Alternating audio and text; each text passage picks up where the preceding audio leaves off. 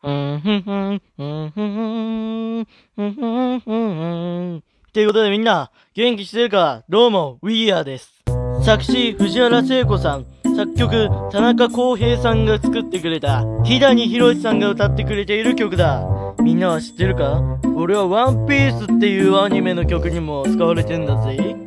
ぜひ原曲の方も聴いてくれなんだぜ。そんな俺がガルパに降臨したってなかなかのことなんだぜ。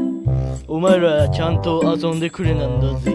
先輩お前は確かウィークアップなんだぜ。先輩、とうとう実装されたんですね。僕は嬉しいです。ああ、今までは大人の事情で無理だったんだけども、できるようになったんだぜ。ワイドに行くんだぜ。でもナンパはしないんだぜ。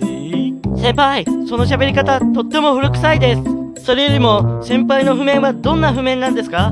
僕も知りたいです。お、お、お、お、お、そこまで言うなら、まあ、教えないこともないかな。うん。やったーあいいか？よく聞け、ウェイクアップ。俺の譜面はとにかく、難しいようで簡単だからな。慌てなければちゃんとできる譜面になっている。その動画を用意しておいたぞ。あれ？っていうか、先輩。その動画がこちら。まずはこの華麗なスライド何度見ても心躍るんだぜ。綺麗なんだぜ。ここのフリック決まれば超気持ちいいんだぜ。そして綺麗なスライドなんだぜ。かっこいいだろう。かっこよくないです。そしてここのわけわからんスライドなんだぜ。不思議だろう先輩語彙力が低下してることにそろそろ気づいてください。でもすごいです。しっかりフルコンボ取るなんて。フルコンボなんだぜ。やっぱり先輩は違うな。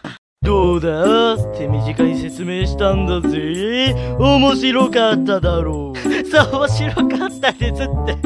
先輩の喋り方。難易度は25とちょっとやりやすいレベルだからみんなもぜひやってみるんだぜ。ナンパするなよ自分に酔うなよ。ワイルドなんだぜ。わあ先輩。やっぱ面白い。わけが違う。すごい。ところで後輩。お前のレベルはいくつなんだい？いやちょっと大したことないですって先輩。先輩に隠し事とはいい度胸してるじゃないか。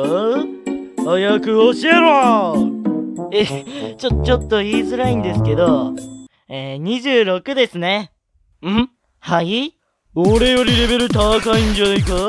先輩超えてそれいいのか？いや、やっぱ、原曲じゃ先輩の方が人気じゃないですか。だからガルパではちょっと難しいのは僕ってみたいになったらしいですよ。わかんないですけど。なんだと？先輩これからもよろしくお願いしますね。ライド25の先輩お、お、お、お、お、よ、ろしくな。